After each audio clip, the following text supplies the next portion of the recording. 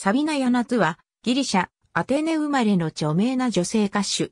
サビーナ、ヤナトゥー等とも。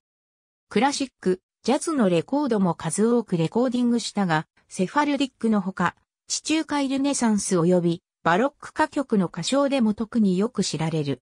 ギリシャ国立音楽院、その後、アテネの声楽ワークショップでスパイロサッカスに学び、奨学金を得て、ロンドンのギルドホール音楽演劇学校でコミュニケーション及びパフォーマンス技術に関する研究を行った。在学中の1979年より、ギリシャ国立ラジオ3で、マノソハジキタスがホストを務める番組、エドリラプヤライにレギュラー出演し、プロ歌手として活動を始めた。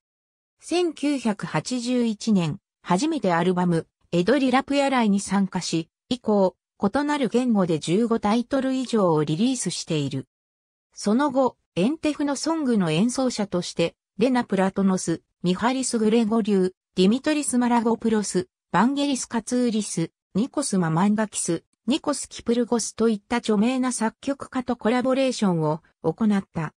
さらには現代オペラ、現代音楽にも取り組み、その後、中世、ルネサンスとバロック音楽に焦点を当てた。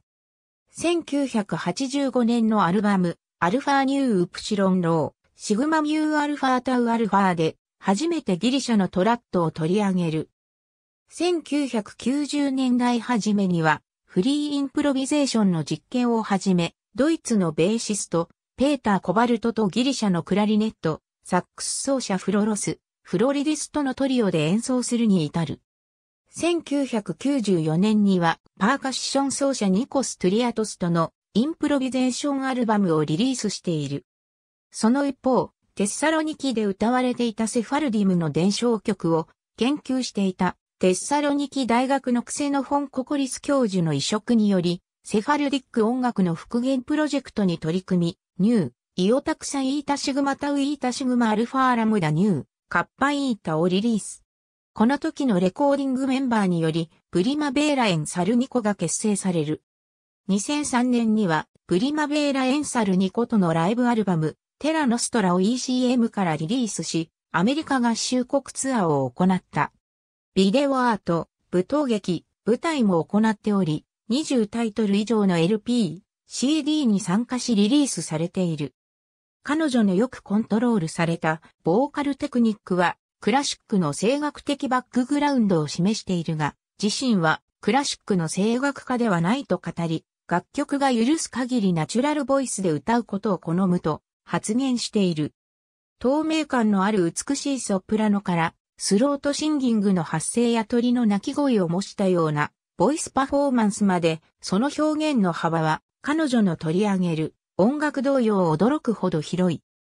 初期においては自立した女性として、ジョーン・バエズ、ボーカルのスタイルとしては、モンセラート・フィゲーラスの、その後は、声の温かさ、語りの重要性からレナード公演、ボーカル表現の可能性として、ディアマンダ・ギャラスの影響を挙げている。プリマベーラ・エンサロニコは、セファルディム伝承曲の再現プロジェクトのために集まったメンバーだったが、その後、地中海沿岸、さらにはその外側へと扱う音楽を広げながら、インプロビゼーションの要素も付け加え、反地中海的なコンテンポラリートラットの再発見とでも言うべき活動をサビナと共に続けている。デルタシグマカッパイオタミューイプシロンタウープシロン、プリマベーラエンサラニコ1983年より、彼女はアテネの語学ワークショップのメンバーである。